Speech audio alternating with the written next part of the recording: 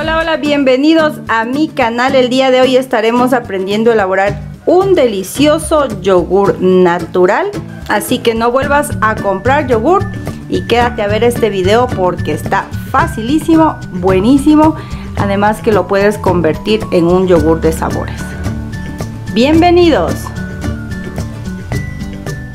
Listo, listo. Y para realizar nuestro delicioso yogur vamos a necesitar un litro de leche y 120 gramos de yogur natural. Lo primero que debes fijarte al comprar tu yogur natural porque de aquí vamos a partir, vamos a comprar una sola vez y luego con el mismo yogur que elaboremos pues ya podremos reciclar, ya no tenemos que volver a comprar este yogur. Este yogur por ejemplo dice que tiene leche entera y cultivo láctico o probiótico. Así que tú tienes que buscar en los ingredientes lo que contiene el yogur natural que vas a elegir. Ya que hay muchos yogures naturales que si tú te fijas en los ingredientes dice que contiene gelatina pues este no nos va a servir y si nos sirve nos va a servir muy poco. Y es mucho mejor conseguirlo así ya que así nos va a salir el yogur súper natural más saludable que pues con compuestos como la gelatina o yo que sé cualquier espesante que le ponen en otros yogures natural. Esta es la marca la holandesa conseguí aquí en Quito pero tú si me ves de otros países, puedes fijarte en qué contiene tu yogur natural. Así que este es el más natural que yo logré conseguir. 120 gramos, a pesar de que este contiene 180 gramos, no hay ningún problema. Yo se lo voy a poner todo, pero para un litro necesitas mínimo 120 gramos. Con los 180 lo que va a suceder es que te va a salir el yogur más espeso. Y con 120 pues un poquitín menos espeso, menos denso. Pero te va a salir muy muy bueno. Yo ya lo hice, así que vamos a hacer con ustedes la prueba de nuestro yogur casero a partir de la leche entera y nuestro yogur natural. Así que vamos con el procedimiento. Lo primerísimo que voy a hacer es en una cacerola colocar mi litro de leche. Si te consigues leche de vaca 100% pura, mucho mejor. Hoy voy a hacer la prueba con la leche que consigues normalmente en la tienda, pero sí, ojo, tiene que ser leche entera. Así que no tienes que comprarla ni la semidescremada, ni la yo que sé, etcétera, etcétera. Así que tienes que conseguirte la leche entera. Yo ya la hice con leche pura de vaca, pero hoy voy a experimentar con ustedes con la leche normal y común que conseguimos en la tienda. Siempre y cuando sea leche entera, lo vuelvo a repetir. Esto es muy importante. Listo, ya tengo aquí mi litro de leche entera y voy a llevarla a fuego medio.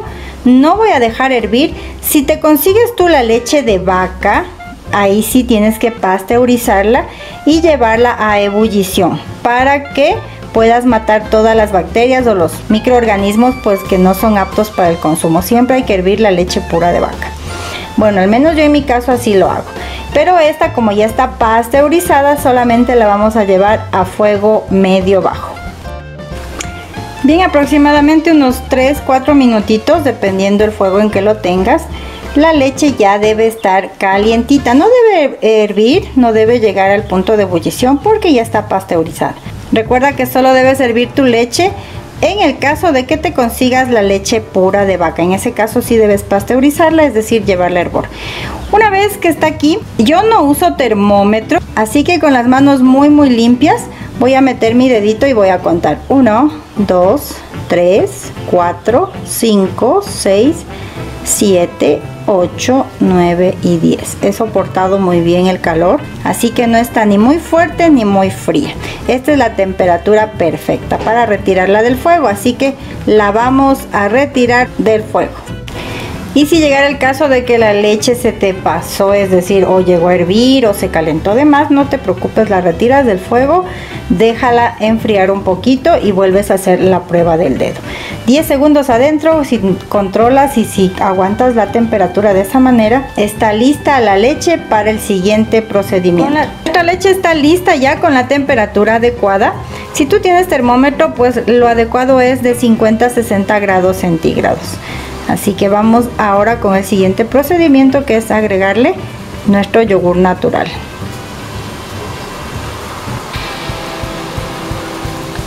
Lo mezclamos muy bien.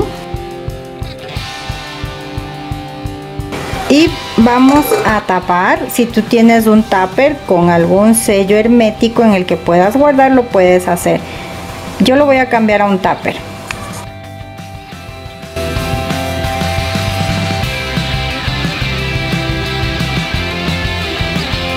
Ahora yo no le voy a retirar la nata de mi leche. Ya hice uno quitándole la nata y ahora quiero probar qué pasa si no le quito la nata.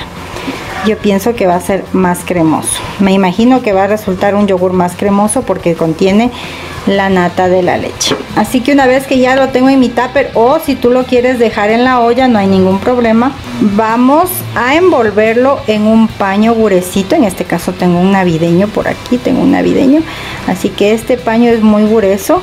Va a abrigar mucho mejor mi yogur. Vas a precalentar tu horno durante unos 15 minutos y luego lo vas a apagar no tiene que estar muy fuerte porque si no se nos puede echar a perder el recipiente.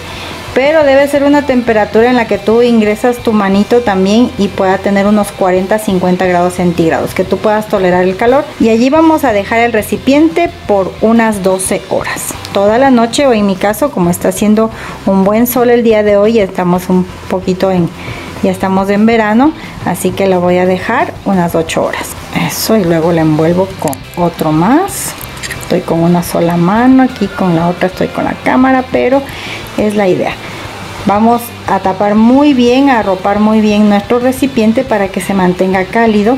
Y vamos a ingresar en el horno que una vez que lo hayas prendido lo dejas 15 minutos lo apagas y una temperatura correcta es al ingresar tu mano en el horno debes resistir el calor. Aproximadamente unos 40-50 grados centígrados de temperatura guardamos nuestro tupper para que nuestro yogur empiece a elaborar sus bacterias muy muy buenas para que nuestro yogur salga muy muy bien. Así que lo vamos a dejar yo lo voy a dejar por 8 horas puedes dejarlo durante toda la noche y luego veremos. Y después de toda la noche vamos a abrir a ver cómo está nuestro yogur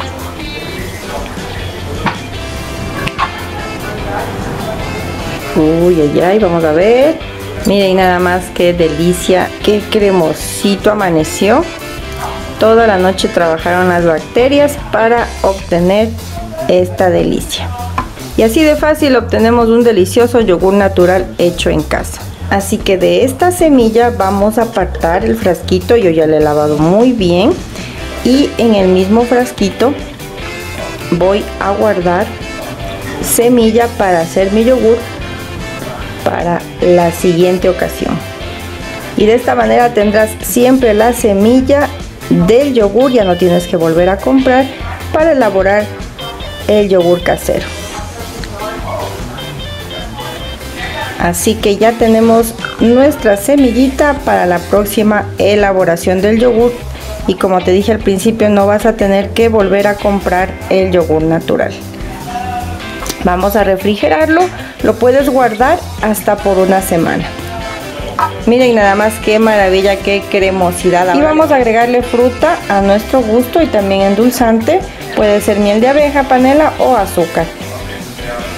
Aquí tengo unas moras que las tenía congeladas, ya las dejé descongelar por completo y las vamos a triturar con un tenedor y tratamos de no utilizar la licuadora en esta ocasión. Lo podrías hacer pero te aseguro que así te va a encantar. Se van a sentir los trozos de fruta en cada bocado. Una vez listas nuestras moras recuerda que puedes utilizar la fruta de tu preferencia. Pueden ser fresas, frambuesas, duraznos, kiwis, cualquier fruta. Con cualquier fruta este yogur queda fabuloso. Bien vamos a agregar todo